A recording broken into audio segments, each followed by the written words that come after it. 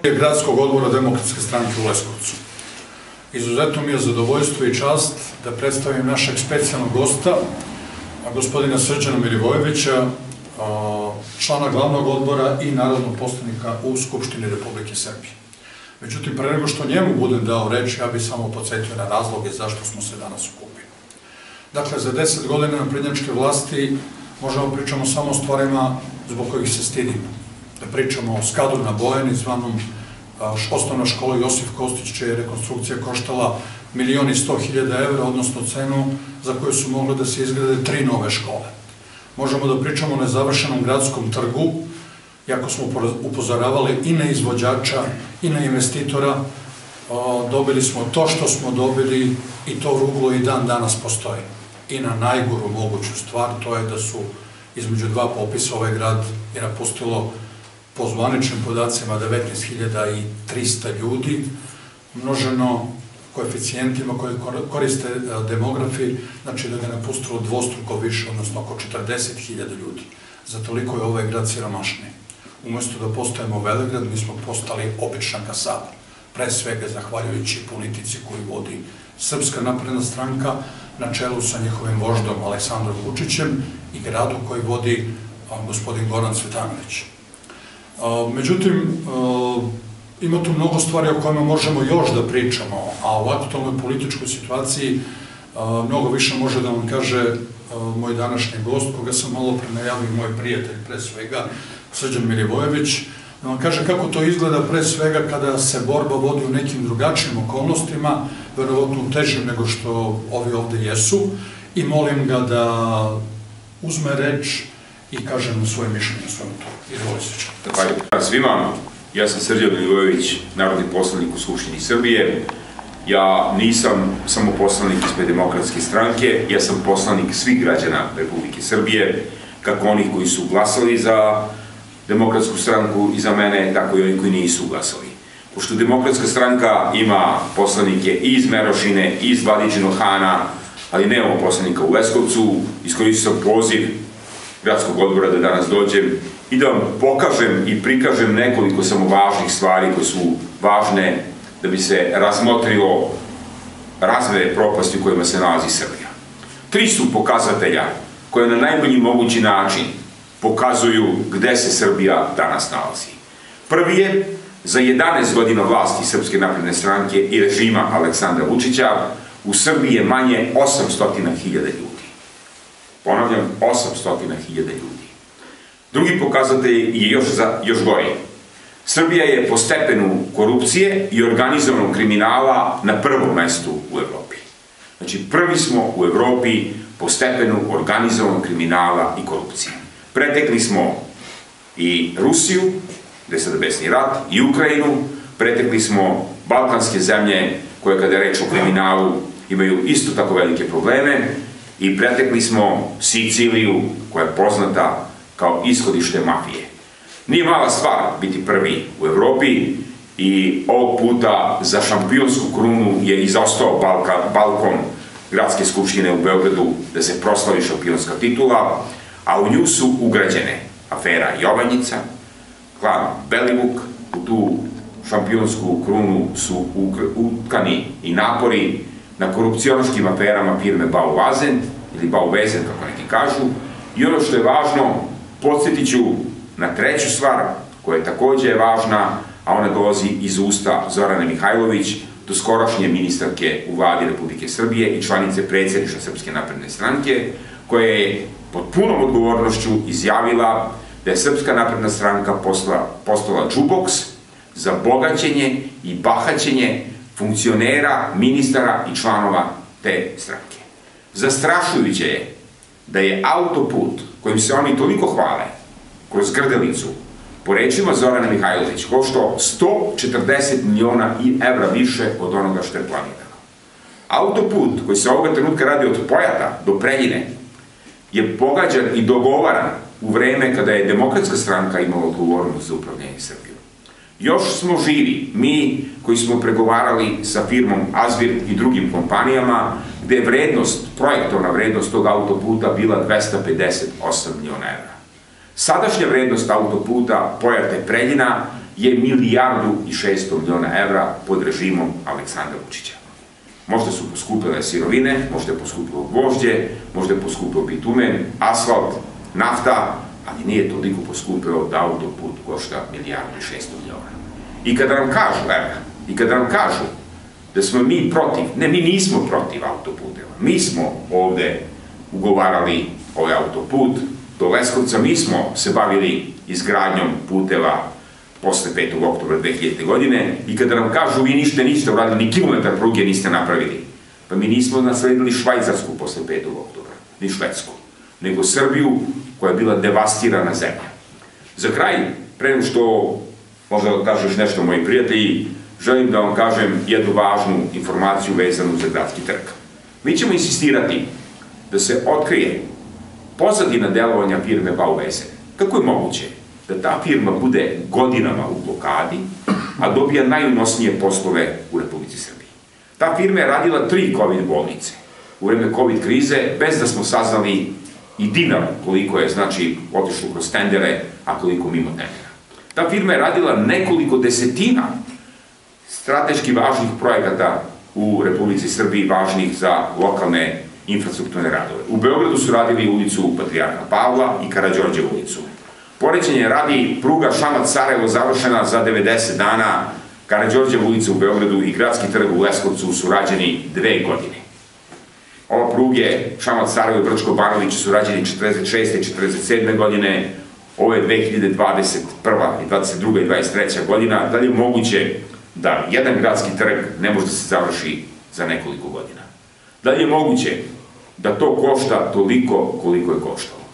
Važno je da se otkrije pozadina, ko stoji iza firme Bauveze, ko im je iz vrha Srpske napredne stranke davao te poslove, ko je opredelio da ta firma bude žeton za bogaćenje i bahaćenje pojedinaca iz redova Srpske napredne stranke i koja je ruka koja je taj žeton ubacila u džuboks. Na toj ruci nismo vidjeli lisice, ohrabrujem sve tužioce, sve pripadnike policije i u Leskovcu i u Republici Srbiji da uporno istražuju ove i ovakve mahinacije i nepravilnosti. Videli ste kako je Srbija stala uz tužiteljke gospođu Paunović i gospođu Bojanu i hoću da, da vam kažem samo jednu stvar. Radite odgovorno posao. Režimu Aleksandra Vučića je kraj. Uskoro će se ispostaviti faktura za sva nepočinstva koje su desili. Ovo ne može besplatno. Mi nikome ne pretimo, ali pravda mora biti zadovoljena. I za kraj, ovo je samo početak redovnih obraćanja demokratske stranke novinarima. Vi ćete imati i medijima, vi ćete imati prilike da narednih dana dobijate uvek informacije blagovremeno, barem ćemo dva puta nedeljno, mesečno se truditi da organizujemo konferenciju. Gradski odbor u Leskovcu ima apsolutnu autonomiju da kada je reč o lokalnim izborima dogovara s kojim će koalicijnim partnerima ići na lokalu, a na nama je da zajedno sa vama rasvetljavamo ove afere, da aktere upozoravamo da budu svesni da je režimu Aleksandra Vučića odzvonilo i da vreme namirenja pravde svakako dolazi. Ono što je važno, mi ćemo insistirati da zakoni koji su doneti, a sada se ne sprovode, zakon o ispitivanju porekla imovine i zakon o oduzimanju imovine stečene kriminalom i korupcijom budu striktno sprovođeni bez obzira na partijsko obeležje počinjeca krivičnog dela. Hvala, ako ima pitanja, ako ćete možda i kao domaćin još nešto. Već uvek je zadovoljstvo slušati ga. Danas imam i priliku da vas, odnosno da nam se predstavi doktorka Marina Kulić, a, naš kandidat na proteklim, na, listi, protek, na proteklim parlamentarnim izborima. Kandidatkinja. Pa vas molim ovo da o osetljivosti srpskog jezika drugom prilikom, ali dobro, ajde, e, samo da pustimo doktorku Marinu Kulić, svoje stavije, postoje oba oblika, imaju, oba oblika su punopravne, sada insistiram. Niste pitali Engleze zašto ispred friend ne stavljaju član, muško ili žensko? Zahvaljujem. Doktorka Marina Kulić. Vi znate da je u toku donošenja zakona po kome ćete morati ipak da koristite kada ženski rod za žene. Kada ga budu doneli, poštovat ćemo. Da ga ne budu doneli, ostavit ćete meni na izbor, šta da. poštojem. Drage demokrate, e, poštovani naš gost, srđane, ovaj, uvaženi novinari, ovaj, predugo mi nešto govorimo tu, sigurni smo da je već došao kraj, da treba sve ovo da se menja, ali mi nikako da dođemo do tog kraja. Postali smo nervozni malo, pa smo malo i besni zbog toga i čini se da ipak mi činimo nedovoljno da ovo stanje za koje smo sami krivi, konačno energičnije počnemo da menjamo. I kao što reče Marko Aurelije, niko vas ne sprečava da uradite ono što morate, a mi zaista moramo da promenimo ovo bezakonje, ovaj primitivizam prvo, šund, da dovedemo vladavinu prava, da damo samostalnost sudstvu, tužilaštvu i policiji, to da ne zaboravimo, pa da poljuljamo one stubove na kojima ova vlast počiva, na stu, stubove srama, a rak rana našeg društva je to mito, korupcija, neviđena pljačka epskih razmera. Ja sam sve više sigurna a opet kažem, ne sasvim, da je ovom orkestru odzvonilo, odsvirao svoje. Došlo je vreme da dođe neki novi orkestar, novi svirači i igrači, pa ako, ukoliko i oni nastave po istom, da se i oni, ali ne ovako dugo čeka da se oni smene i da se ne zavaravaju svi oni koji treba da dođu i drugi, i treći, i peti, i deseti. Da biti u vlasti ne znači imati neograničenu moć, gospodariti tuđim životima, otimati od drugoga, ponižavati druge, ucenjivati ih. Vlast znači, raditi u vlasti znači raditi odgovorno svoj posao, primati platu, pa ako se nekome sviđa da radi za tu platu u vlasti, neka radi. Ali će zato stručni ljudi koji imaju mozga, koji su završili škole da rade posao za veće pare od toga, možda nekim ovde vidim deluje ovo malo idealistički i malo kao neka ideologija. Međutim, neka se svako zamisli malo suština je u tome. Da svako zna svoje mesto koliko zavređuje i pare koje dobija, kojom mukom ih dobija. I ja se zaista nadam da će ljudi ipak malo da promisle svojom glavom i da daju šansu nekim drugima u nadi da dođe jedno pravednije vreme, da se ljudi više ne zlopate, jer u ovoj našoj zemlji više od 80% građana obeležilo je život borbom za goli život. Može li neko da ide, da da da daje otpor, da se buni, da daje podršku ako kući ima gladnu decu. Ja to donekle razumem. Živeli demokrate. Kad je održana izborna sednica, izborna skupština na kojoj je formiran gradski odbor demokratske stranke, zašto novinari nisu obavešteni o tome? Ja sam mislila da ste vi ovde povereništvo, sad čujem da ste gradski odbor. moram da te ispravim, izvim, gradski odbor od uvek, samo što gradski odbor može da ima svoje različite forme. Trenutno smo povereništvo gradskog odbora Leskovac. On može da ima predsednika koji se bira na normalnim izborima, može da ima svoje članove predsedništva. Do izbora koji nisu održani, ja sam poverenik. Ovo je forma, ovo je forma povereništva Gradskog odbora Demokratske stranke Leskovac. Hvala. S obzirom da imate autonomiju da na predstojeće lokalne izbore izađete sa kim hoćete sa srodnim partijama, sa kojima imate približno iste ciljeve. Koje su to partije koje vidite kao svoje saradnike? Razgovor će se tek odvijati oko toga zato što se pojavio novi Ali s obzirom na političku scenu, hoću vaše, vaše pa mišljenje. Naša, scena je, naša strana je strana demokratske stranke, pre svega očekujemo da mi budemo stožer oko koga će se okupiti drugi opozicijne stranke, otvoreni smo za razgovore sa svim strankama koje dele naša mišljenja i dobrodošli su u moguće savez. Naravno, razgovarat ćemo o tome bit ćemo spremni za sledeće lokalne izbore za koje čujemo da će se dešavati za godinu dana u prilike ovo vreme. To razlog ove najave da ćete se intenzivnije obraćati medijima u narednom periodu, s obzirom da vas dugo nije bilo. Naravno, e, jedan od razloga e, jedan od razloga nepojavljivanja demokratske stranke na konferencijama za medije jeste i taj da smo pokušavali da ponovo okupimo staru ekipu, sve više i više nas je. Broj koji sada postoji u demokratskoj stranci, koji raste iz dana u dan, jeste dovoljno razlog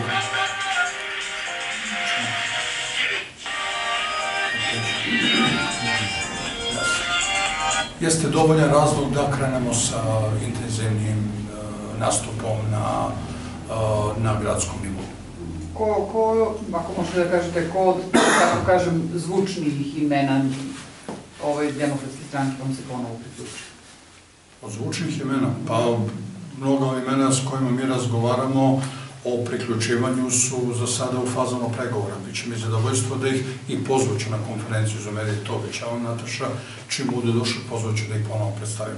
Meni najzvučnije ime jeste doktorka Marina Kulić, svemu tome, tako da ja se stvarno oslanjam na, na proverene stare demokrate, ali je vrata demokratske stranke jesu otvorena, razgovora se sa puno ljudi iz drugih stranaka koji su izrazili želju onog trenutka kako budu dolazili, kako se budu vraćali, ja obećam da ću predstavljati na medije.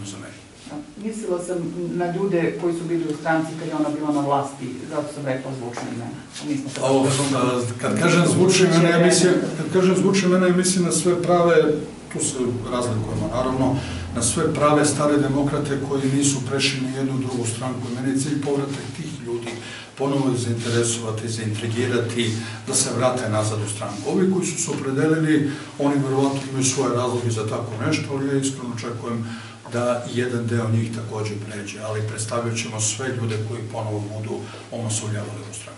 Sa zadovoljstvom. Uh, imam ja pitanje za vas, gospodine Milivojeviću. Postoje priče, vrlo ozbiljne, vrlo pouzdane, o nekakvim pokušajima ukrupnjavanja demokratske scene na, na centralnom nivou. Šta se dešava sa tim? Objedinjavanja nekih stranaka i ostalo. Demokratska stranka je bila i ostala što, stožer okupljanja opozicije. Ovoga trenutka nema nekih značajnijih e, pravljenja koalicija. Prvo, ovoga trenutka su neka važnija pitanja na dnevnom redu na političkoj sceni Srbije. Pitanje Kosova i Metohije je otvoreno kao izuzetno važno pitanje koje se ovog trenutka okončava i demokratska stranka ostaje proevropska stranka, posvećena evropskim vrednostima, S druge strane, mi smo spremni za saradnju sa svim strankama sličnog opredeljenja i sličnih vrednostnih sistema i sličnog vrednostnog uverenja, ali nismo, kažem, nismo spremni da po svaku cenu se ujedinjujemo sa ljudima koji bi možda imali drugačiji put Srbije ovoga trenutka kada je reč o našoj budućnosti. Znači, proevro, sa proevropskim idejama ništa? Ne, ne, nismo I sa idejama koje znače rešimo pitanje Kosova sad? Nismo se razumeli evo da budem konkretniji, demokratska stranka smatra, ako me pitate za Kosovo i Metohiju, da je plan francusko-nemački neprihvatljiv za Srbiju ovoga trenutka, iz nekog razloga. Aleksandar Vučić je sam vodio pregovore mimo svih ustavnih ovlaštenja 10 godina. I uveravao nas da pobeđuje sa petova. I da svaki njegov nastup na međunarodnoj sceni znači korak dalje od neke navodne kosovske nezavisnosti, iako smo mi ukazivali da čini sve što u njegovoj moći da završi posao koji je započeo 1999. godine kao ministar informisanja u vladi koja je priznala humanovsku kapitulaciju i proterala srpsku vojsku i policiju sa Kosova i Metohije, zamenili sa NATO trupama i pripadnicima terorističke oslobodnačke vojske Kosova i na kraju krajeva Kosovo i Metohiju izmestila iz ustavno-pravnog poredka Republike Srbije pod pokroviteljstvo Ujedinjenih nacija.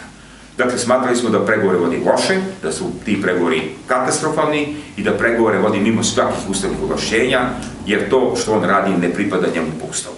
Mi smo voljni da razgovaramo sa Evropom, ali nemoguće je razgovarati o rešavanju kosovsko-metohijskog problema bez dalje demokratizacije našeg društva.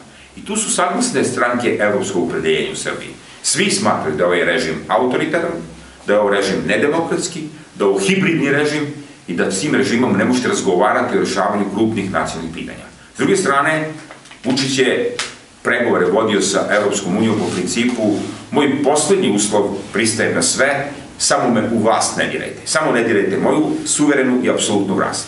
On se u tim pregovorima nije ponašao ni kao nacionalista, ni kao patriota, ni kao mladi radikal što je nekada bio, ni kao naprednjak, ni kao demokrata. On se ponašao kao čovek koga zanima samo ničim ograničena i nekontrolisana moć. I stalno je tražio još vremena da reši taj problem, da bi se ovde obračunao sa svim političkim protivnicima, a sada, kada bude potpisao taj kosovsko plan koji nudi uh, Francusko-Nemačka, Evropska unija, on će se tražiti grace period još 10 godina da bi se obračunao i sa Republikom Srpskom, po principu u sve me dirajte, samo me u vas ne dirajte, da ću sve što tražite, i Rio Tinto, da ću ovi rudnike, i litiju, šta god tražite, da ću i kineske investicije, i američke, i francuske, i nemačke, samo mi nemojte dirati vlast. Neka Srbija makar bude prostor na, na, samo na Andrića Vencu, ali samo malo i vlast nemojte dirati. U tom kontekstu, demokratska stranka ne može da razgovara sa političkim strankama da o nekoj evropskoj budućnosti Srbije, koje podržavaju Aleksandra Vučića. Znači, nemate mogućnost... A koje podržavaju sporazum? To nisu iste stranke koje podržavaju Vučić i sporazum. Svaka politička stranka treba da proceni ovog trenutka da li je za Srbiju dobro da se potpiše francusko-nemački sporazum koji Srbija ne dobija ništa. Ali bukvalno ništa. Dobro, dobro, ali da li to znači da nećete sarađivati ni sa strankama Ne, koje ne. podržavaju taj sporazum? To vas Ne, pitam. ne, ne. Mi ovoga trenutka znači pravimo znači priču ljudi koji su posvećeni evropskim vrednostima. Sutra dan, kada budu raspisani parlamentarni izbori, ja ih ne očekujem tako skoro, jer a, rating Aleksandra Vučića je u strmoglavom padu i Srpske napredne stranke takođe, razgovarat ćemo sa svim političkim strankama koji su posvećene izgradnji evropskih vrednosti u Srbiji. Hvala.